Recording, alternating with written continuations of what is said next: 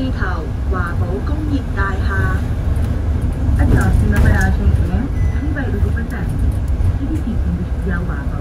下一站山里頭，華寶工業大廈。The next stop is 輕軌路不等，呢啲地點有華寶。